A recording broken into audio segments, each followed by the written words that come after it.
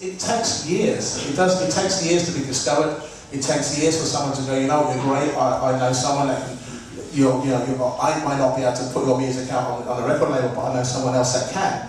This kind of thing, you know, Rome wasn't built in a day, as they say, and you just have to basically ride the crest of the wave of what's going on. Because today's music, what you're listening to now, might, might be the same music for tomorrow. It will change. So, you know, what, what will happen is that you will have to either create that change and be there first, or just basically create your own ties. It's, it's, it's the only way I can see that, that, that, that you as an individual can step out of your bedroom or out of your kind of comfort zone to be able to be someone that people actually come to look for. Because people are out there to look for things like that. You know, in a back room somewhere, you know, that they end up at the end of the day after after party, they hear some DJ playing cool music or whatever they've never heard before. And uh, this is fantastic if, if, if it allows itself to happen. And these things need to happen a lot more. I mean, there's some really cool parties happening here at ADE, or some really cool nights that are happening, at which people should go and see. Uh, fair actually, one of your nights is happening tonight at Jet Records. There's many acts that are on your, on your label that are being there, to, going to be there tonight. You should go and check his night out. I mean, uh, and his style of music and everything is coming from Turkey. So this is interesting to go and see. By the way, you owe me a drink. Um, Where is again? um, but this is, this is great. This is great that he's come from Turkey. He's here. He's come to uh, support his, uh, his guys on the label and to showcase his music. And this needs to happen a lot more, for sure. Uh, I agree with you. It's difficult, but uh, for sure this should happen. Thank you. I think as a general thing as well, it's probably true to say that there's never any shortage of average stuff. But people who are, or artists or DJs who are exceptional just can't help but stand out. You know, it's the, the, the, whatever it is, they've got something extra. That was a question, really. something extra, or like an extra hand, or extra turn. Um, eventually, people would stand out. You know, cream was rising to the top. In the end of the day, no matter how long you how long you've been working at it. Um, and, and, as we see, you know, people like Daft Punk, for instance, Air, or or Laurent Garnier, we, we've been strewn around, for they were all French, weren't they? they were. Uh, but they, they, stood, they stood out as to the test of time, and, um, and not much comes out of it, much more than that, because they're still nurturing their sound and still moving things forward themselves. So it's, it really is something of which, in the end of the day, uh, if you believe in yourself as an individual based on what you're doing, and then eventually it will come around in the end of the day. Yeah, I reckon. I thought we had another question from the floor, but I, did you want to ask a question? I had the same question. Oh God! same question. How are you? Well, maybe can you give some answer? Because I'm writing an article about young producers who, who trying to sell their music here. Yeah. And I followed a guy today, and he just handed out like 300 CDs to anyone. It doesn't matter. Yeah. Is that the way you do it, or would you approach somebody in a different way?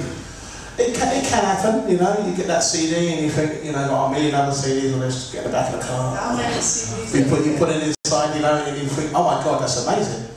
Or you think, oh, not again, out the window. Yeah. Because that's what happens. It really is, is, is too much in the end of the day. Uh, based on people want to see a performance, people want to see the DJ or, or, or an act. They want to see it from its raw bones and its basis of, of the reasons why you end up being that person in the end. And um, so just giving a CD doesn't give you any history about that person whatsoever um, in, that, in a way, you know, because it's, it's difficult to, to, to follow what you're trying to say as an artist, apart from that you're trying to sell your music, and we understand that. Um, it, it, it's just difficult. It's, it's difficult to do that. Throwing your own party in Amsterdam is also very difficult. Um, yes and no, because I mean you do have a lot of small, cool bars and, and very, you know, coffee shops. Uh, you, you, you, know, you cannot drink in a coffee shop. You don't, you're not, you're not here to drink, you're here to listen to the music. So that's for me, I don't care about drinks or, or food or anything. The music is the reason, you know? And you can, you can listen to the music and then go to another bar which has got no music, but you find that more people, or let me think, more people in a bar for music or more people in a bar with drink. That's a good question, isn't it? so you've got to try and marry that together. Of the day, it's probably one of the difficult things that you have here in Amsterdam. Um, if you can get drink and music, then great. Yeah. Thank you. Thank you. So, I thought it'd be interesting to talk about your people. First and foremost, of course, Lynn, with whom you've been working for 14, 15 years. Uh, yes, we have. Tell, us, tell us how you guys met and, and how she became your manager, and why she's still your manager after 15 years. Well, this story is going to make her cringe. She's been cringing ever since I said we were going to talk about it, don't worry. Cringe is what Well, I, I first met Lynn um, many years ago when she was handing out flyers in, in nightclubs. And uh, she had a little plastic bag full of load of flyers. I came out one night, she was like, here you go. And, uh, I was five at the time. and you get all these flyers and just kind of like, you know, the idea really was that you, you got to know where the next party was, this, that and the other. But all the parties that I, I went to, Lynn was always there with the flyers. So she was obviously into music and into going out and being there. And then eventually she created her own management company, FXTC, and then she went on to create Cosmac Management. And, um, and you could just see that, that Lynn, her path was always to do with music. And uh, eventually she was running the Ministry of Sound and also she was involved very much in Sony Records. So you have a bit of clout love, actually, um, for sure. And then one day I was looking for management and, and the last person actually I was, I was looking to, to be managed by was, was Lynn Cosgrave. But uh, for some reason she picked up the phone and, and asked to have a little chat. And all I remember is that she said to me, she said, I don't really like your music, but I really like what you're doing as a DJ. you know, we Honesty, honesty is always the best policy. And she's been like that ever since, and that's probably one of the reasons why we're still here and doing what we're doing today. It's Yeah. because of that's the way she is as a person, and uh, I love her for that. So you've been working together 15 years. How many how many people are there to make sure that your career runs smoothly apart from you? yeah, I mean, I do have a road manager called Ian, uh, Ian Huzzy. I do have a, a booker called uh, Ian.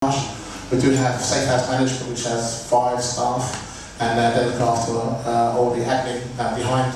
And we also have a, small production company uh, with Jim Baggett.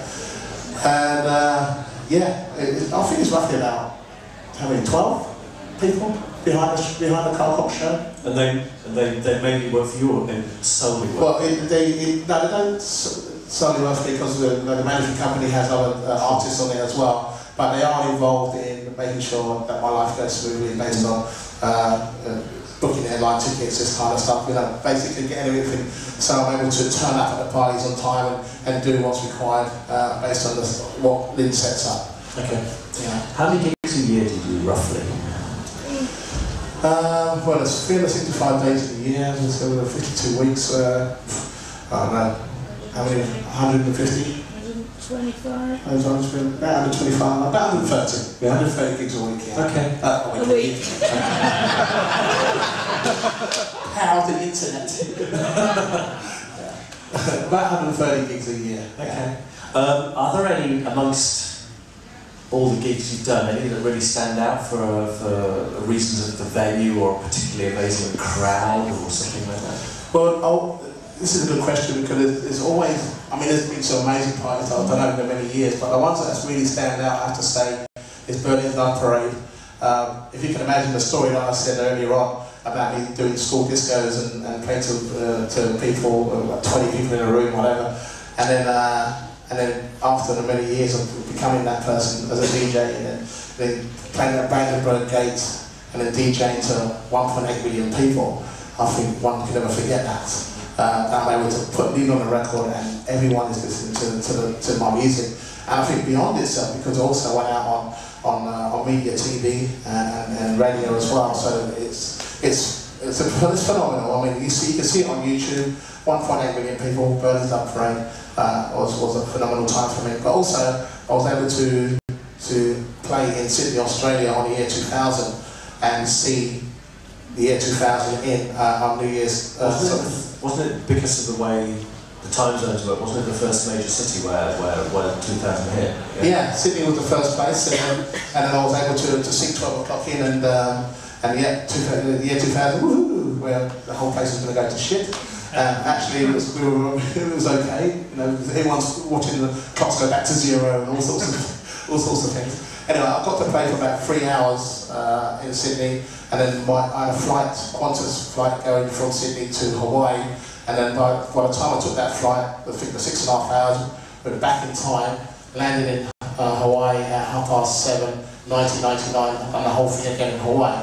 So uh, I did two New Year's Eve parties, went back in time, and did, did the whole thing again, and this was absolutely amazing. Everyone else around me was drunk and just out there, and I was still having to DJ and enjoy myself, and uh, but believe me, I had a drink after that. That's pretty remarkable.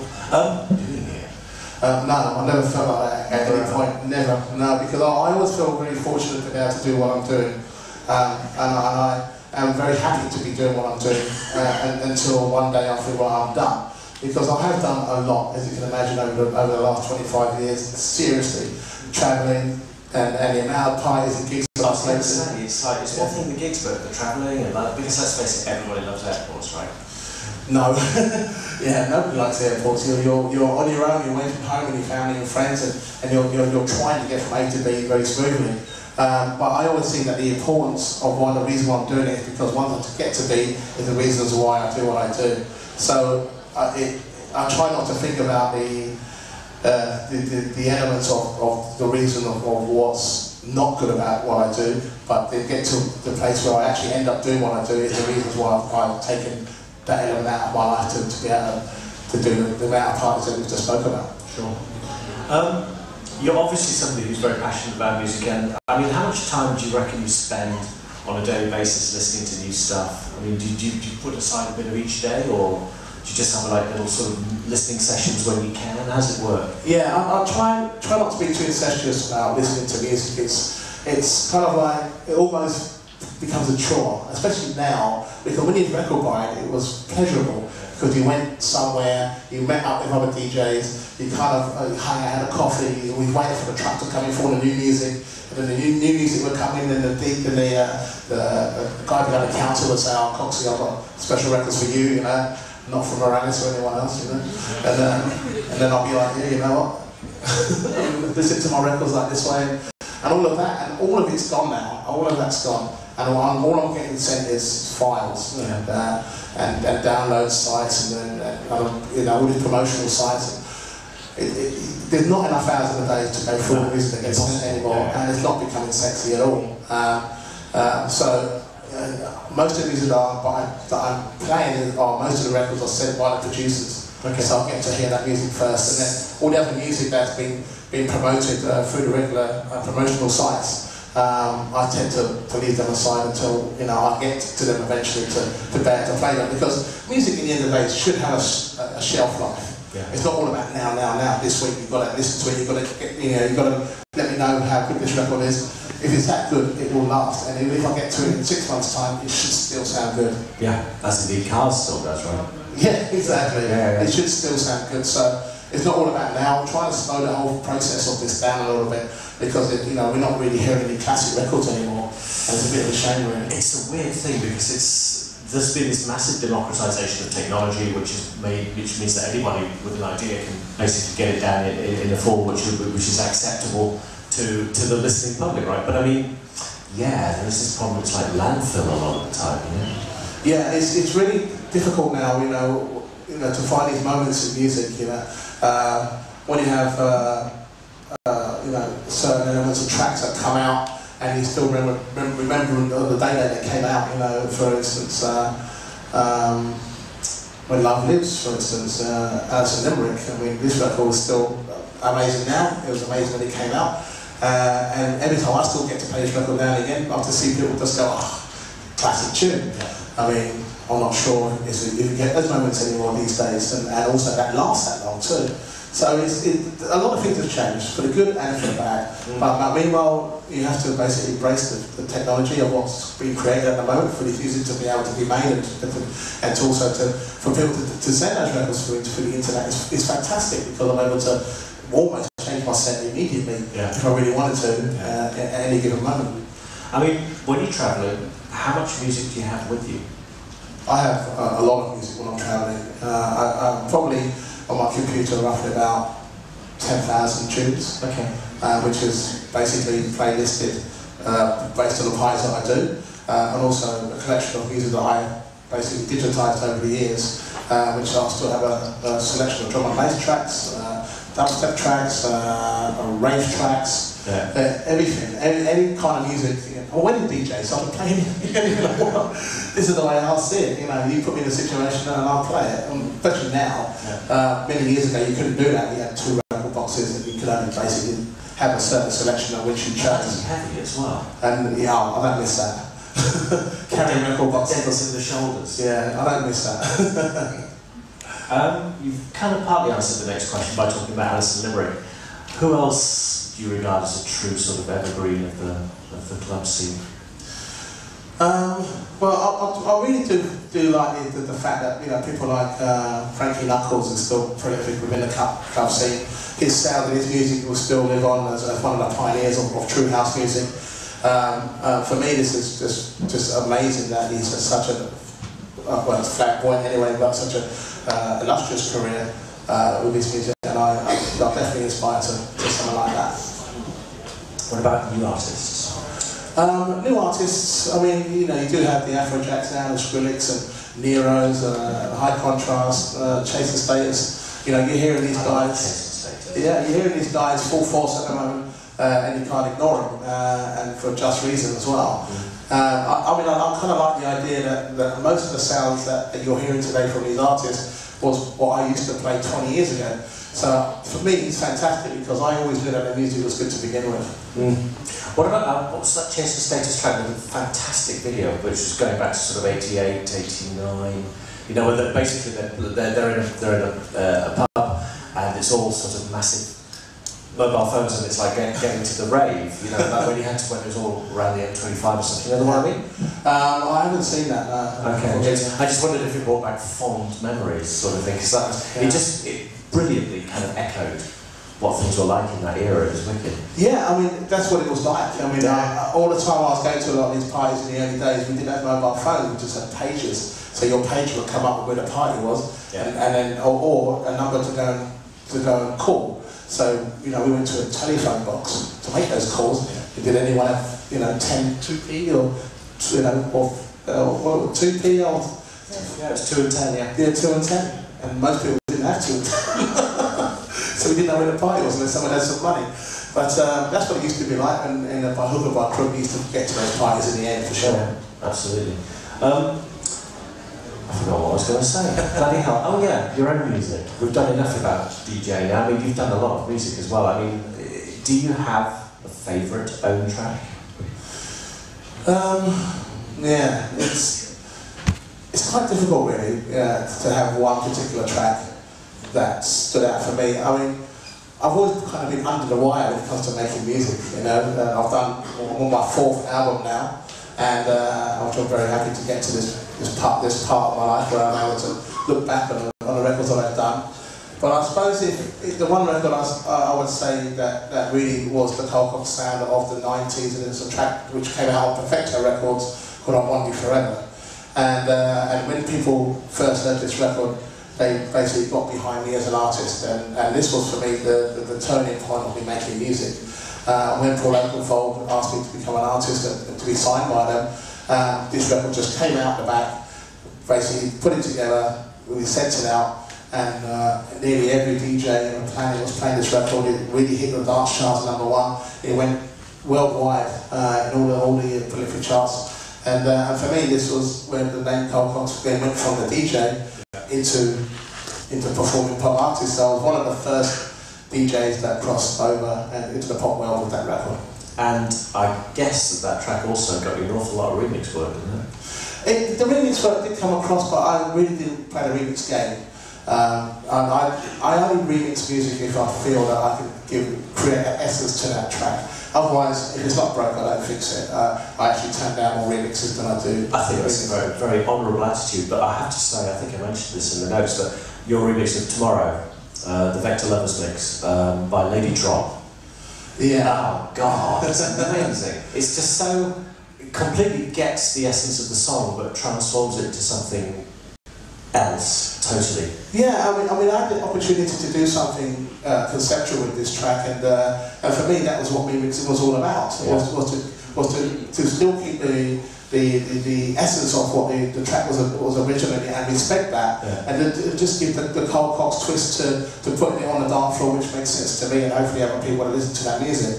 Uh, and that was, was one of the bases of me doing remixes in the first place. So I did re- remixes for Stone Roses, uh, uh, did remixes for Shajam and Spoon, um, and the list goes on really, uh, based on how many remixes I've done. But uh, for me, they were all very good quality remixes based on the Carl Cox sound. Yeah. Um, do you have a fixed way of working when you? I mean, when, once you've actually decided you're going to do a track, uh, how do you how do you work? I mean, how do you? Because the thing is, you could fiddle endlessly, right? Yeah. I mean, how do you how do you discipline yourself and how do you organise it? Within, within any, any record structure, there's always a, a, a main hook of the song. So I always take that main hook of the song. What makes this record great? That hook. So don't get rid of it. You know, keep that hook in there, and then create good bass lines and good drum rhythms, and just a good powerful energy around the, the original hook of the song. And I think you'll find that no matter what I've done with it, you get to that hook and you go, ah, that's that's the artist. And uh, and I always try to always I always try to keep that uh, uh, the, uh, the I would say I was trying to keep the idea of, of, of following the path of the original track, but also just sprinkling a bit of Carl Cox Gold Dust on top of that to make it what I think should be as a Carl Cox remix. Time rapidly. It's been fun, but before we go, we've got to talk about All Roads Lead to the Dance Floor. Now, I think it was a total stroke of genius. A, to have an updated, permanently updated USB key as the sound carrier, as they used to be called, but also flogging it with a t-shirt. That's genius. Whose idea was that? Um, I was a, it's a collective actually with uh, my guys uh, that are working within the, the structure of uh, Safe House, uh, Elliot and um, and John Mundell that, that helped run the, uh, the the label for me. Um, and the idea to, bun- to bundle the, the t-shirt on with the USB was was that actually the, the t-shirts will get a, a lot of attention also. So uh, uh, based on what they are, just as all roads leads to the dance floor, and that's the end of it. But when, when people see it, they, they kind of think, okay, actually they do because I, as a, as a, uh, uh, as a punter, I always end up on the dance floor and the roads get me there. So, so uh, this was something which kind of popped up and, and, uh, and as a concept idea, we just thought it was just really, uh, if you're a Carl Cox fan, then you should be able to get something a bit more than just the music, which, which you're able to wear with pride. Yeah, and I think also it's kind of it, it's it providing a solution to the fact that people are so like we, touched on earlier. People are so much less bothered about acquiring music because it's everywhere, right? And it, the, the mystique to a certain degree has gone. So you have to provide some like an extra service or an extra element, right? Well, well, the thing is now is that when you're obtaining music now, you're just downloading it onto your uh, MP3 player or your computer these days, and you don't get to feel or touch anything anymore. So my, idea with the USB stick was that you actually got something tangible. You bought something which you, you have in your hand, and you can basically show your friends, and show off, and say, look what I got. You know, this is something of which is is something that I, I bought into as a point of Carl Cox history. And if you're a fan of me or anyone else that decides to use, utilize the USB uh, technology to, to basically obtain music, then there it is. And uh, I kind of like the idea of that, that you actually, you've actually got something that you own from, from the idea of obtaining music. Uh, and, and for me it's quite exciting because now we're on to phase two of the album in the sense of download, and uh, people are very interested to see what they're going to get next, Yeah. or what they've already bought into to begin with. Yeah. And then, uh, then we've got phase three that's coming up, and you never know, they might get another t-shirt down the line, who knows? Uh, or, or, or a mug, or, or pencil, or, I don't know, rucksack, a rucksack or something. But no lawnmower. No lawnmowers, no. Can I please, A uh, live can I please ask a question? You can go for it. Yeah, thank you. Hello. Um, I would like to ask about uh, how you organize your play. You play per, per, per year. You say 147 gigs. Roughly, Uh, yeah. yeah, and this is very quite a lot, and it's very good. And uh, I wish you would have 300 per year. I would just like to ask about how you organize your time for your tracks, and how you have the time for gig and track, and the time for manager, of course. And Yeah. how all the, how you do that? Yeah, no, I mean, any given moment, you know, that I get to, to, to listen to music, it's, it's just it's just difficult. You have to try and make the time to do it because obviously if I don't listen to new music and then I'm going to be playing the same records I when I in January, then I will be in December. So within that, I, I have no choice but to find a given moment to listen to music. And it is difficult, uh, but you just have to do it. Yeah. Do you have somebody, for example, with you in the studio when you do a track and you start with a loop for the first beat? Somebody maybe help you to do it together when No. you don't have the time? No, I can't do that because someone's idea of good music is not my idea of good music. So it's difficult for someone to say, oh, I think oh, you should be playing these records, and I get these records and I think they're crap. So therefore, I can't do it. I have to do it myself. Everything that you hear me play is what I've chosen directly. That's it. Okay, I was just talking about the time. Maybe you send somebody to do this one for you. Yeah. You don't have the time because you fly a lot. Yeah, yeah, no, I mean, it's a good question because, you know, I don't have the time to listen to everything, but I have to try and make the time to try and listen to at least as, as many as many records as possible. And, uh, and for me, but it's important for me to know what, what I'm playing and why I'm playing it. And, uh, and the only way I can do that is for me to listen to the records to begin with. And about, uh, for example, to have a manager and to travel a lot like this, how would that feel for you as an artist? Is quite stress or?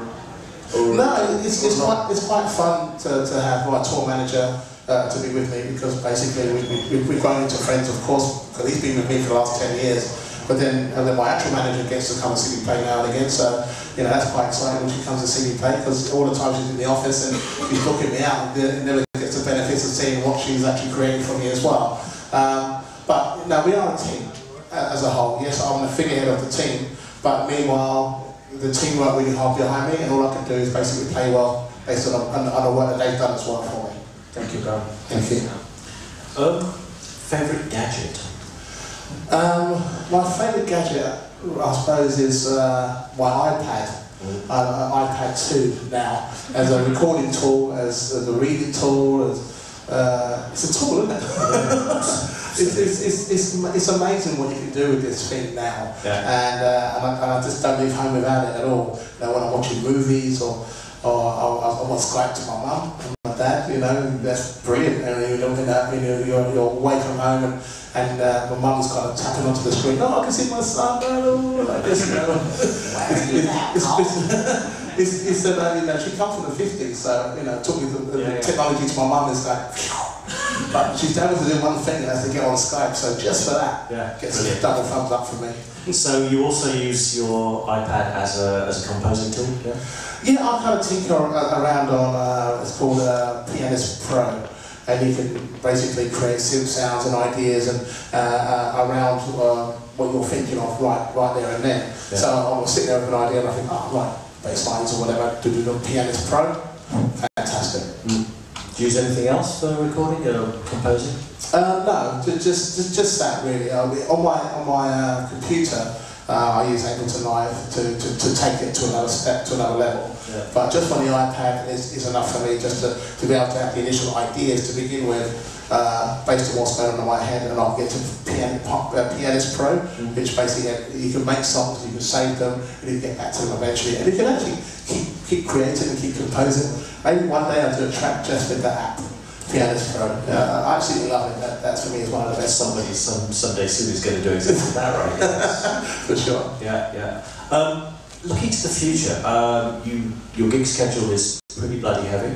Um, do you ever fancy, do you ever think about slowing down a little bit, maybe a bit more time for yourself, a bit more time for other things? Yeah, I, I do. I do think about slowing down because you know, you know, you know, time's ticking away now. It's getting to a point where i my life can't be just about performing and just about, about being a DJ.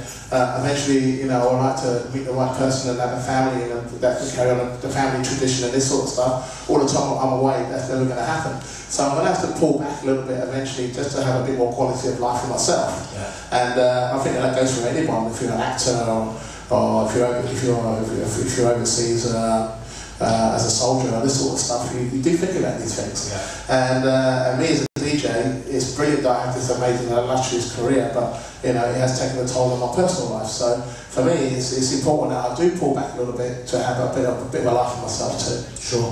Um, and when you're not listening to music, travelling, DJing, composing, etc., etc., what other stuff do you do? Um, well, If not, anything. yeah, not many people know this, but I'm really uh, into my motorcycles. I, I really enjoy the, the fact that I'm out on two wheels, got the crash helmet on, no one can see who I am, go out in the wilderness, and I really enjoy the roads and bends and really get into into being uh, a biker. Uh, I like that. It's been within my blood for many, many years. I've always, I've always travelled on two wheels. Uh, most of my life, uh, uh, I, was, I was, most of my life I've been in a car. I've enjoyed my car, but I'm, much more happier being on two wheels. Brilliant. Mate, it's been a real pleasure. Thank you very much. Thank the audience for you. Thank you.